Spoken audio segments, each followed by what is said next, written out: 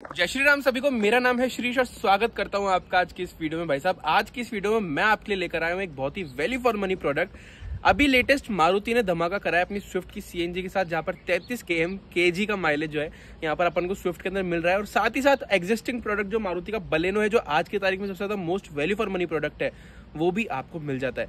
दोनों गाड़ियों के अंदर फ़र्क जो है 19-20 का कहने को तो लोग बाग बोलते हैं, लेकिन अब जो फ़र्क है वो 19 से 20 लाख हो गया, क्योंकि सबसे मेजरली बात, इसके अंदर आपको फोर सिलेंडर इंजन मिल रहा है, ज़्यादा बढ़िया आपको रिफाइनमेंट मिल रहा है, ज़्यादा बढ़िया गाड़ी के अंदर स्पेस मिल रहा है डायमेंशन ज़्यादा अच्छे मिल रहे हैं तो भाई साहब ज़्यादा बढ़िया प्रोडक्ट ये हो गया। अब आप बोलोगे यार इसमें तो भाई साहब प्राइस डिफरेंस भी आपको ज़्यादा मिलने वाला है।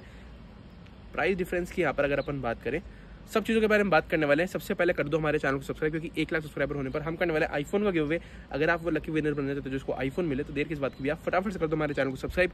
चलते हैं इस वीडियो में आगे। और आज आपको बताते हैं बलेनो सीएनजी ज़्यादा वैल्यू फॉर मनी है या फिर स्विफ्ट सीएनजी तो आपको इस फेस्टिव सीज़न कौन सी अपने घर पे लेकर आनी है? तो गाइज़ ये है अपने सामने बलेनो का डेल्टा वेरियंट और डेल्टा के अंदर जो सीएनजी है, वो आपको यहाँ पर देखने को मिल जाता है। ऑलमोस्ट अगर इन गाड़ियों की प्राइसिंग की बात करें तो ऑलमोस्ट ये गाड़ी आपको जो है डेल्टा पेट्रोल से पूरे नब्बे हज़ार रुपए महँगी मिलती है, जो अपन ने स्विफ्ट के अंदर देखा वीएक्सआई वेरिएंट जो है, जैसा अपन ने स्विफ्ट के अंदर देखा सेम वही वाला प्राइस डिफरेंस आपको यहाँ पर देखने को मिलता है पेट्रोल और सीएनजी वेरिएंट के अंदर। वहाँ पर स्विफ्ट के अंदर भी नब्बे हज़ार रुपए का फ़र्क है, बलेनो में नब्बे हज़ार रुपए का फ़र्क है। लेकिन स्विफ्ट सीएनजी और अपनी जो बलेनो सीएनजी है, उसके अंदर कितना फ़र्क है भाई?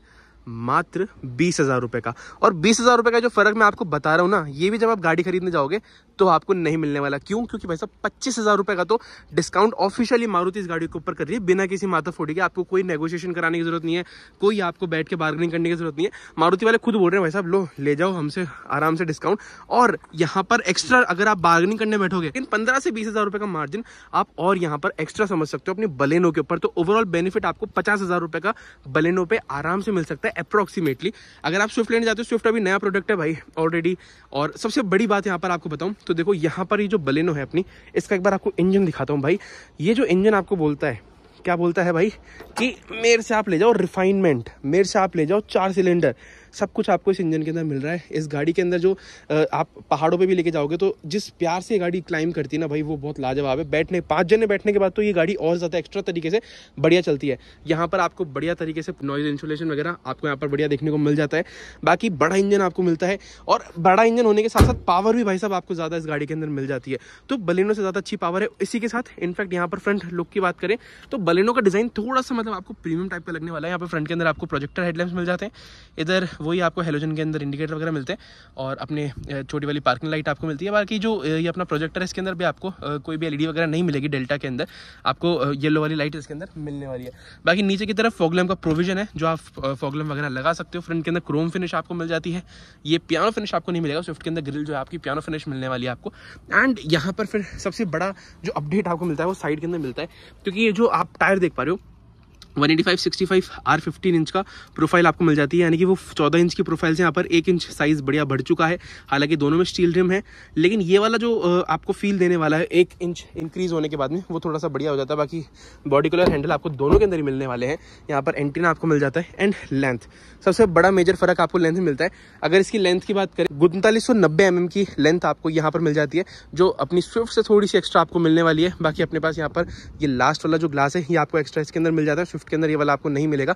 और इसके अंदर कुल मिला थोड़ा ज़्यादा प्रीमियम फील आपको मिल जाता है, पीछे डिफॉगर मिल रहा है स्विफ्ट के अंदर भी है, लेकिन यहाँ पर भी आपको जो है पूरा फील वगैरह बढ़िया मिल जाता है। सबसे बड़ी बात भाई, जो आपको स्विफ्ट के अंदर नहीं मिलने वाली, यहाँ पर ये स्विफ्ट से सस्ती भी आपको पड़ेगी, और यहाँ पर आपको एक्स्ट्रा टायर भी मिल जाता है स्टेपनी के अंदर।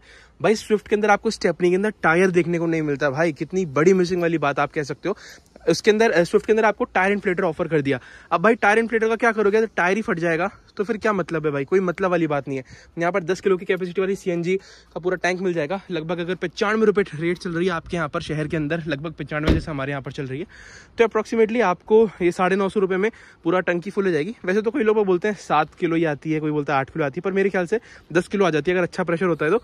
और आराम से फिर आपको जो माइलेज ऑफ़र करती है, सवा तीन सौ की रेंज आपको ऑफ़र कर देती है तो वही साढ़े बत्तीस का, बत्तीस के आसपास का माइलेज वगैरह आप निकाल सकते हो जो मारुति कह रही है।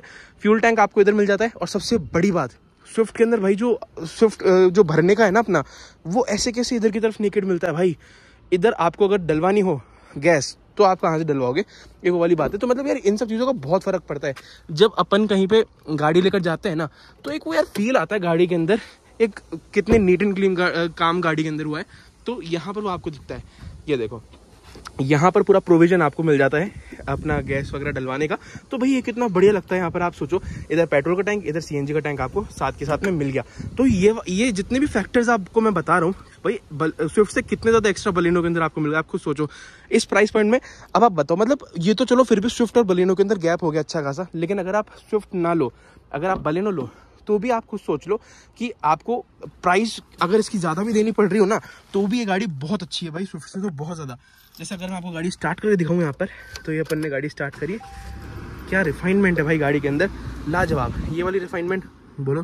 स्विफ्ट के अंदर है रिफाइनमेंट मना नहीं कर रहा बट वो वाली बात नहीं है। यहाँ पर आपको बटन मिल जाता है सीएनजी से पेट्रोल को शिफ्ट करने का। और इसको भाई क्रूज कंट्रोल आपको इसमें भी नहीं मिलेगा। इन्फोटेनमेंट के कंट्रोल्स पूरे आपको इसके अंदर मिल जाते हैं। और उसी के साथ में स्पीड मीटर की बात करें तो स्पीड मीटर आपको मिल रहा है, छोटी एम मिल रही है। सेम स्विफ्ट के अंदर भी आपको यही मिल रही है। यहाँ पर आपके पास फ्लैट बॉटम स्टीयरिंग व्हील मिल जाता है। एंड अपने पास इधर पूरा गियर नॉब आपको मिल जाता है। बाकी इधर की तरफ़ अपने पास हैंड ब्रेक वगैरह हो गया। एंड ये पूरा आपको पूरा कांच वाला फील ऊपर आने वाला है। सॉकेट वगैरह आपको यूएसबी का इधर मिल रहा है, बारह वोल्ट का इधर आपको सॉकेट मिल रहा है। इसके अंदर ऑटोमेटिक क्लाइमेट कंट्रोल आपको मिल रहा है भाई। स्विफ्ट के अंदर ऑटोमेटिक क्लाइमेट कंट्रोल नहीं मिलेगा। ऐसा पैनल आपको मिल जाता है डिजिटल का। पर ये वो डिजिटल और ऑटोमेटिक क्लाइमेट कंट्रोल जिसमें ऑटो का बटन होता है ना, वो होने में फ़र्क होता है, जिसमें अपने आप कंपनी गाड़ी के अंदर जो है अपने आप सेंस कर लेती है वो कि किस हिसाब से गाड़ी का टेम्परेचर यहाँ पर रखना है। तो ये एक अच्छी चीज़ होती है। अपने पास ग्लोव बॉक्स इधर आपको मिल गया, इधर आपको सॉफ्ट टच टाइप का मिल जाता है। इंटीरियर देखो इंटीरियर जो अपनी स्विफ्ट है, उससे कितना ज़्यादा प्रीमियम लगता है? स्विफ्ट का पूरा इंटीरियर आपको पूरा ब्लैक मिलता है। यहाँ पर ब्लू थीम आपको मिल गई, इधर आपको सिल्वर सी थीम मिल गई, इधर पूरा प्लास्टिक टच आपको इधर मिल गया। और ओवरऑल जो फील है गाड़ी के अंदर, काफ़ी गजब आपको मिलने वाला है। इसके अंदर सीट्स भी जो है कंफर्टेबल इसमें लगती है।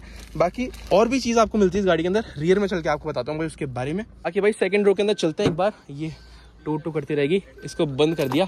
वेल उसी के साथ में यहाँ पर अगर सीट्स अपन देखेंगे तो कहीं इसके अंदर थाई सपोर्ट भी आपको एक्स्ट्रा बढ़िया इसके अंदर देखने मिल जाता है। एडजस्टेबल हेडरेस्ट आपको मिल जाता है, वो भी तीन तीन भाई सेंटर के अंदर कोई बैठेगा, उसके लिए भी आपको अलग से हेडरेस्ट मिल जाता है एडजस्ट करने के लिए। That is a very good thing यहाँ पर अपन को स्विफ्ट के अंदर नहीं देखे। और इनफैक्ट अगर मैं इस गाड़ी के अंदर बैठता हूँ स्पेस देखो भाई, लाजवाब स्पेस आपको मिलती है इसके अंदर। स्विफ्ट के अंदर ये वाली स्पेस आपको देखने को नहीं मिलने वाली। थोड़ा सा माहौल वहाँ पर कंजेस्टेड आपको लगता है। बाकी तीन जने आप यहाँ पर बैठा सकते हो। स्विफ्ट के अंदर दो जने और एक छोटा बच्चा बैठ सकता है। यहाँ तीन जने बड़े भी बैठ सकते हैं। और इधर आपके पास एसी वेंट ज़रूर नहीं मिलेगा। बारह वोल्ट का सॉकेट मिल रहा है। इससे ऊपर वाले में आपको एसी वेंट मिल जाएगा। और जो बेनिफिट आपको यहाँ पर बलेनो के अंदर हो रहा है, भाई, जितने सारे बेनिफिट मिल रहे हैं ना, उस लिहाज से तो अगर आप ऊपर वाले मॉडल पे भी जाना चाहो, जो कि जीटा के ऊपर जीटा में डेल्टा से ऊपर जो जीटा आता है, उसमें भी आपको सीएनजी का प्रोविज़न मिलने वाला है, जो कि वो भी बहुत वैल्यू फॉर मनी लगता है। पूरे ग्रैब हैंडल वगैरह आपको इसके अंदर मिल रहे हैं। तो ये ओवरऑल पैकेज बहुत लाजवाब बना देता है भाई बलेनो के अंदर। तो मेरा तो जो झुकाव है, वो बलेनो के ऊपर ज़्यादा हो चुका है। इनफैक्ट यहाँ पर आपको फायर एक्सटिंग्विशन वगैरह भी मिल जाता है इस गाड़ी के अंदर, जो कि इस डब्बे के अंदर अभी रखा हुआ है। तो भाई, ये वाली बात है, मुझे तो बहुत वैल्यू फॉर मनी लगी अपनी बलेनो, और अभी अगर आप स्विफ्ट और बलेनो के अंदर कंफ्यूज हो तो भैया आँख बंद करके अब तो आपका एक पूरा क्लैरेशन हो गया होगा कि कौन सी गाड़ी आपको लेनी चाहिए, कौन सी नहीं लेनी चाहिए। तो भैया, इस वीडियो में इतना ही था। मिलते हैं किसी ऐसी वीडियो में। जब तक अपना ध्यान रखिए, सुरक्षित चलिए। धन्यवाद।